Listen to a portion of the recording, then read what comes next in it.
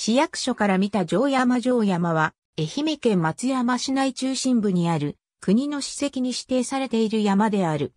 正式には、勝山であるが、山頂に松山城天守があることから、一般的には城山と呼ばれている。東側配領にはテレビ塔が立っている。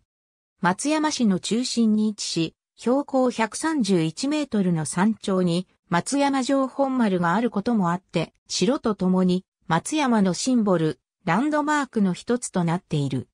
東山六には、篠の目神社やロープウェイ乗り場があり、南西六には、城山公園の一部である堀の内が接し、市民の文化と憩いの場となっている。周囲を市街地に囲まれ、南側は愛媛県庁舎や松山市役所、松山地方裁判所などのある官庁、ビジネス街で、さらにその外側に商店街、飲食街やマンション群が連なっており、北側には愛媛大学、松山大学のある学生街がある。このように、城山周辺は松山市における都市機能の中核を担っている。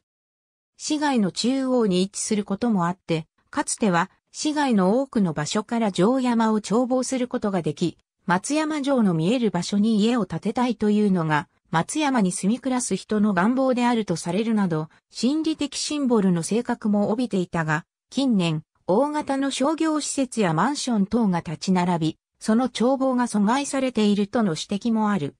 松山市が設置し、伊予鉄道が指定管理者として運営する松山城ロープウェイリフトが東側にあり、ほとんどの観光客はこちらを利用する。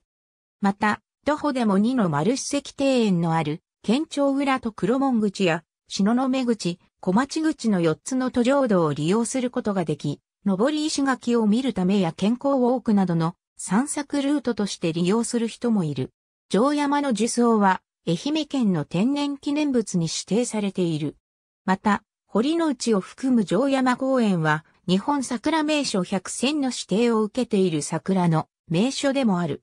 城山には、NHK 松山放送局の総合テレビ、教育テレビ及び南海放送テレビの地上アナログテレビ放送の松山送信所が置かれ、松山市など中予地方の大半地域等に電波を発射していた。